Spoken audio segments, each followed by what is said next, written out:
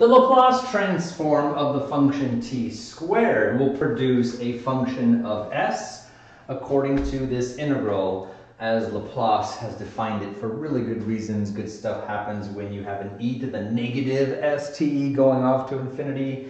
Let's see what happens. In this case, we're going to integrate e to the negative st times t squared from 0 to infinity. Now, I hope you caught my last video where integration by parts using a table or Jaime Escalante called it the tic-tac-toe method. Put your polynomial factor here and take derivatives until you can take derivatives no more. Put your exponential, in this case, over here and do anti-derivatives until you have just as many.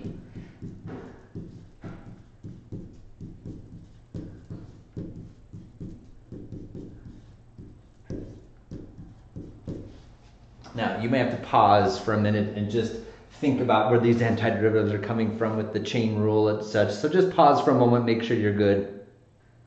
Okay, that's enough pausing. That's enough thinking. I hope you're good there. But here's how it works. You take this times this times a positive times a negative times a positive.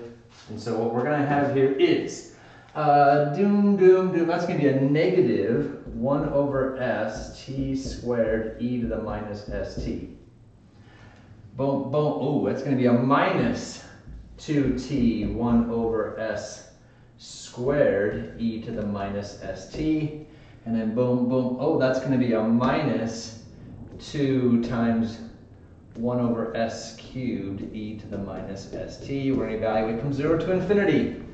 Now we're just going to use our noodles here and think about what happens as t gets really, really big. As t gets really, really big. Now remember, these are all s's. Let me make sure you don't confuse my s's with 5. These are all s's in this Laplace transform world that we're in at the moment.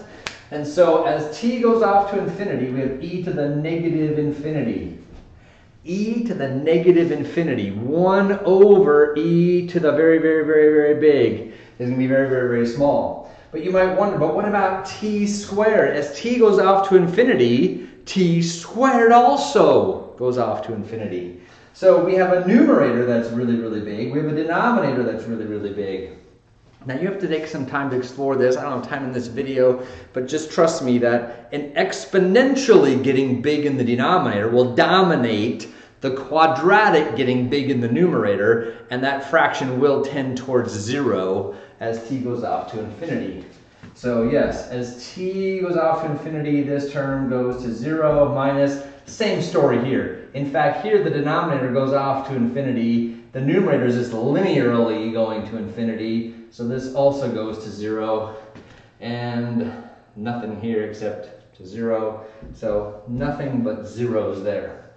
Minus when t is zero, Notice 0 squared, 0. e to the 0 is 1, but still 0. 2 times 0, 0. e to the 0, 1, still 0. So it's funny that after all of that great calculus, lots of stuff happening, you get nothing, nothing, nothing, nothing, nothing, nothing. Hey, I'm just going to pause there for a minute because we should appreciate Laplace. You'll see where all this fits in later, but this decision to define the Laplace transform the way he's done it is so stuff like this happens in our work. Now, this last piece, some good stuff happens here. When t is 0, that's just e to the 0, which is 1. So we're going to have a, a, a minus 2 over, uh, 2 times 1 over s cubed. So minus 2 times 1 over s cubed.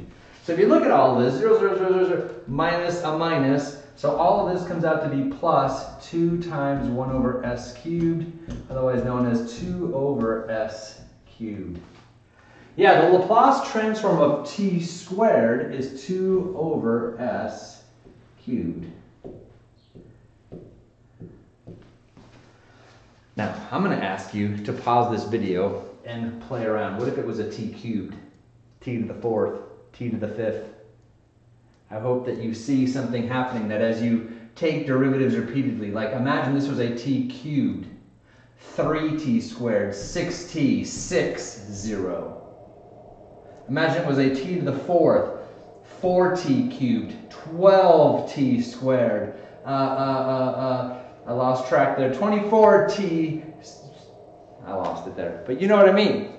Take derivatives until you get down to zero. Here's what actually happens here. This one will give you 6 over s to the fourth. Yeah, I don't know if you can, if you caught it here, but this is really 2 factorial over s cubed. This is really 3 factorial over s to the fourth. Even this one is really 1 factorial over s squared. 2, 1, 3, 2, 4, 3. In general, any power of t is going to produce a Laplace transform, a function of s, that is going to be that n factorial over s to the power 1 more. Notice t third, s to the fourth, t squared, s to the third, t s squared. Even here, it's t to the zero, s to the first. See, this one is really 0 factorial over s to the first. 0 factorial is 1, by the way. so this patterning really does work. The general Laplace transform for t to the n is that I challenge you to play with that for a moment and see if you can convince yourself of that pattern.